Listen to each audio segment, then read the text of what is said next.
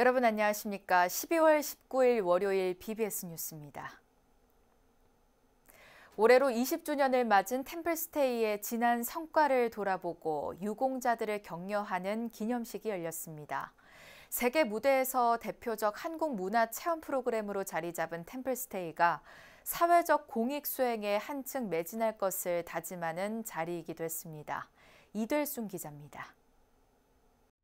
지친 일상에서 벗어나 산사의 풍경과 차 한 잔으로 몸과 마음을 치유하는 시간. 한국 전통문화체험 템플스테이가 올해로 20주년을 맞았습니다.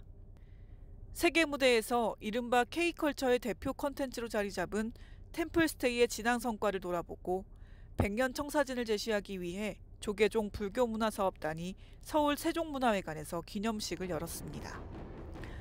조계종 총무원장 진우수님은 인사말을 통해 템플스테이가 이제는 문화체험 영역을 넘어 적극적인 사회 공익 수행자로서의 역할을 다할 것을 다짐했습니다.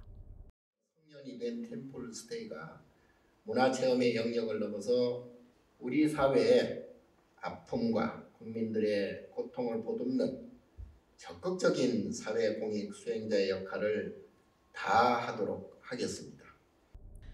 불교 문화 사업단장 원명 스님도 지난 20년 경과를 돌아보고 미래 비전을 제시하면서 공공외교 사업 활용과 코로나 치유 템플스테이와 같은 공익적 역할에 매진한 부분을 강조했습니다.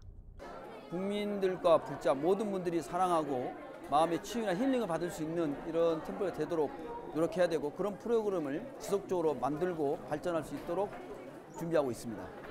행사장에서는 윤석열 대통령의 축하 메시지가 박보균 문화체육부 장관을 통해 전해졌습니다. 윤 대통령은 국민들의 행복 추구와 문화복지에 기여하는 템플스테이의 역할을 언급하며 정부가 더욱 관심을 갖고 살피겠다고 약속했습니다.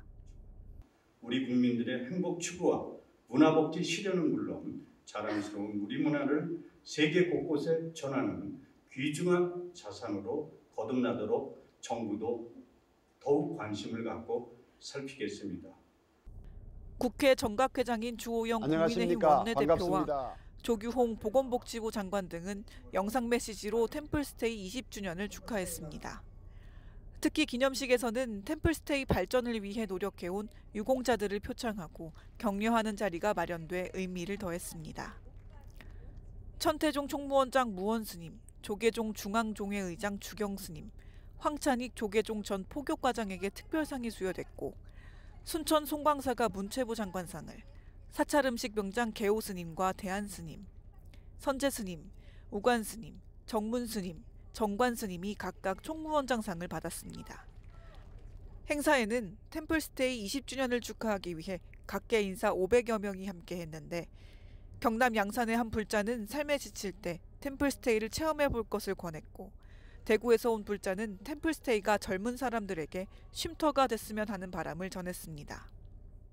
삶에 지치고 뭔가 마음의 힐링이 되고 싶을 때 그 템플 스테이를 하면 참 좋을 것 같습니다. 템플스테이가 저희 뭐 10대든 20대든 저희 아이들이 편히 갈 수, 가서 쉴 수 있는 공간이 되었으며 더 나아가서 세계에 있는 청소년들이 우리나라의 템플스테이를 많이 경험을 해서 우리 불교가 많이 확산됐으면 좋겠다는 마음입니다.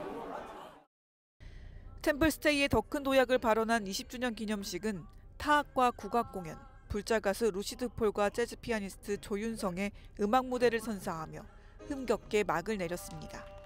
BBS 뉴스 이회순입니다.